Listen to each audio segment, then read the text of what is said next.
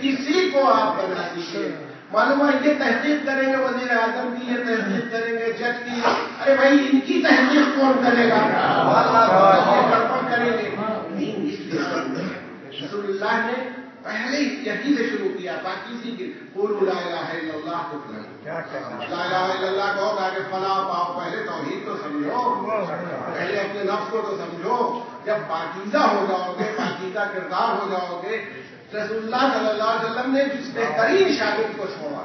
देखिए उसने अदल के मिजाज को यहाँ पर ला के रखा इर्शाद फरमाया अगर हफ्त इकलीम की दौलत मेरे पैरों में डाल दी जाए अब ये तो मुहावरा हुआ था यानी कुल कायनात मेरे पैरों में डाल दी जाए सिर्फ़ इसलिए। अब गौर कर लीजिएगा कोई आदमी तेरह करोड़ में पूरे सिस्टम को खरीदने की तैयारी कर रहा है। अच्छा नहीं खरीदा जा सकता, मगर कभी कभी खरीदा भी जाता होगा। वहाँ वो कह रहे हैं, तेरह करोड़ में हफ़्ते तकलीम की दौलत डाल दी जाए मेरे पैरों में।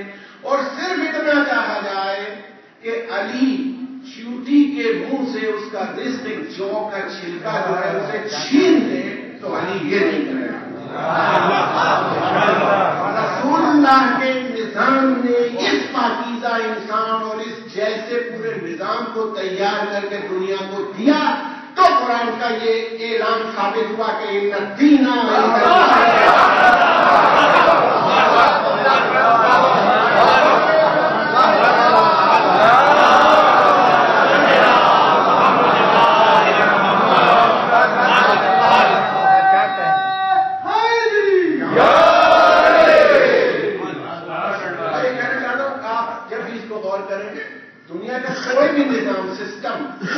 इन बनाता है, कानून बनाता है, ये बनाता है भाई, इन्होंने कानून बनाया पार्लियामेंट ने बनाया। सभी लोग कह रहे हैं वरना हजारी भी जब चिल्ला रहे थे कि पार्लियामेंट में सब चोर बैठे। जिन्होंने बनाया था, वही चोर है। लेकिन सारे इल्ज़ाम लगाए जाए सब कुछ है। कोई भी आदमी रसूल्ला हमारे जैसे बशर थे, मगर मान अल्लाह कहीं से किसी गलती गए। कोई माल ले लिया हो, किसी को दौर नहीं, ये नहीं। बल्कि इस्लाम ने वो निज़ाम पैदा किया कि आदमी इतने हज़ारों लोगों के लश्कर के सामने खड़ा हुआ ऐलान कर रहा हो। कि क्या मैंने दीन पैगंबर में से किसी तुम्हारा कोई माल ले लिया है? तुम्हारे किसी इंसान को जब मार दिया है? ये भाई झूठ ही बोलना कह दो। देखा जाएगा इसी वक्त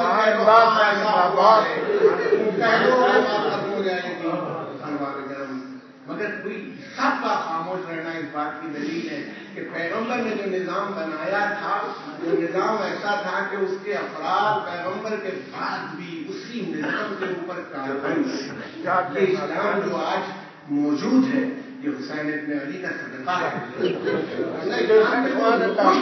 इस्लाम का नक्श न रह जाता मगर उसके उन्होंने कुर्बानी कैसी दी साहिब से तशरीफ़ फरमा इस्लाम इस्लाम इस्लाम हर आदमी मुस्लिम है हम मुस्लिम है मुस्लिम।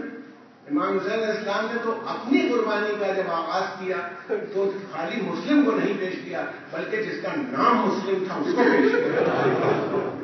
करबला शुरू होती है बहुत जनाब मुस्लिम की कुर्बानी से और खत्म भी जनाब मुस्लिम ही के सिलसिले पर होती है। बस आपकी रहमत का माम करना आप सुनते रहते हैं यानी आदमी इस मंजिल पर आ जाता है। इस्लाम क्या है? दीन इस्लाम। जरा सा इंसान को मौका मिलता है। देखिए यहाँ मिम्बर से मैं बैठा हूँ, बड़ी बड़ी बातें कर सकता हूँ। जोश में आदमी पता नहीं क्या क्या कहता है। लेकिन जब वो खुद आता है और कसौटी पर कसा जाता है, जब उसके खुद वफादार टकराने लगते हैं मैं उनसे क्या बोला? दीन हूँ, दीन और हूँ।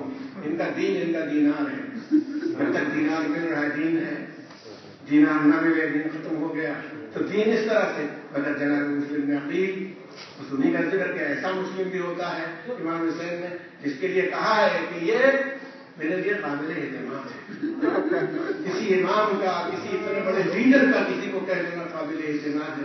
वो कूफे गए हैं। आप अंदाज़ा कीजिए, मैं शायद नहीं पढ़ रहा हूँ, मगर मैं सिर्फ़ इशारे कर रहा हूँ, आप अंदाज़ा कीजिए, कूफे में। और जो भी गुजरी आपके ऊपर, आप जिस घर में थे, उसमें गवर्नर आ रहा है मालूम है कि अगर इसको कत्ल कर दे तो अपने मकसद तक पहुँच सकते हैं।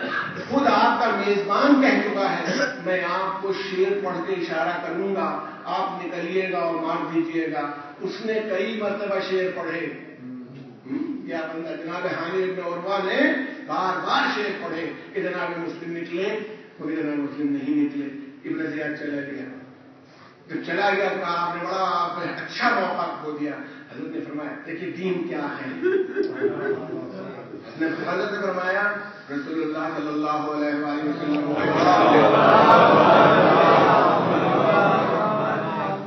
कि जो मेहमान है, उसकी जियाफत करो तकरीम करो, चाहे वो काफिर ही करो वो तुम्हारा मेहमान था।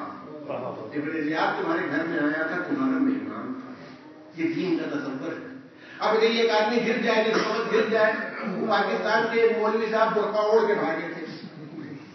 उनकी बाकायदा तस्वीरें थी लाल मस्जिद से निकले थे, बुरका ओढ़। यहाँ तौर के घर में मौजूद है। वो कह रही है कि आप नहीं निकलिए, मगर इशाद क्या फरमा रहे हैं? मैं ये नहीं कर सकता कि मेरी वजह से ना महरम आप बताइए कत्ल हो जाने के बाद के लिए उन्हें मालूम था क्या होगा। मगर उनकी शाम क्या थी? उन्होंने सलाम नहीं किया।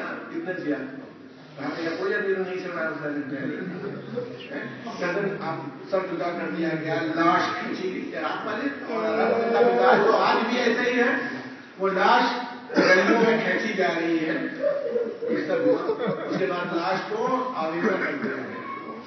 आपको मालूम है।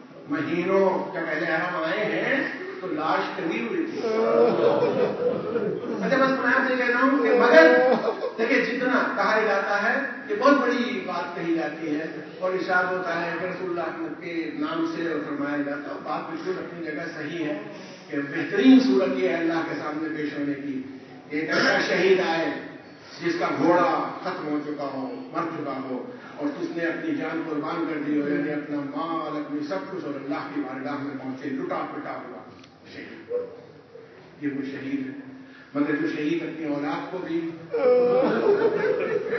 कत्ल करवा चुका हो से देखिए, मैं आपसे कहता हूँ, सब लोगों की शान अपनी जगह पर। उन्हें जनाब मुस्लिम नकील के दो बेटे बाद रिवायात के हिसाब से, ये दो जो बाद में शहीद हुए, ये भी करबला में और अंदाज़ा कीजिए कि वो दो बेटे बाद में शहीद हुए तकरीबन साल भर बाद वाक़ करबला के। मैं बस इसी बात पर आपसे खत्म करना चाहता हूँ कि आज जनाब मुस्लिम के यहाँ तो कोई बचे ही नहीं। अगर वो मैदान में खड़े हो गए मबूद में खाली अपना घोड़ा कुर्बान करके नहीं आए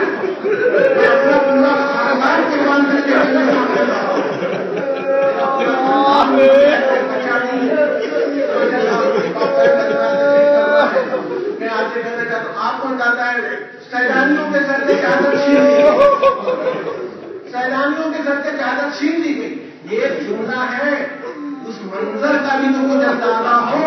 बयान ये किया जाता है कि जो मलाइन खैमे के अंदर दाखिल हुए वो इस तरह से आए थे कि घोड़े दौड़ाते हुए खेमों में दाखिल हो गए।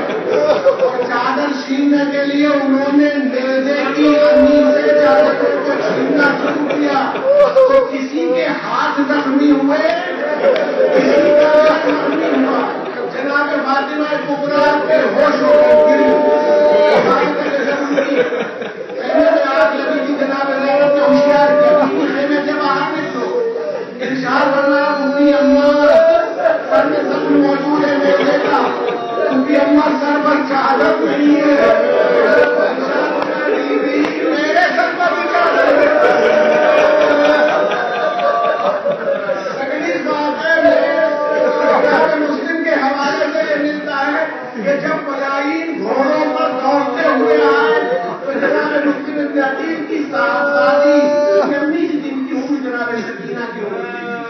उनका नाम आतिका था वो अपनी माँ के पास थी एक उन चीखी माँ दौड़ी उसके बाद बड़ी हुई बार बार हिलाती है कोई जख्म मौजूद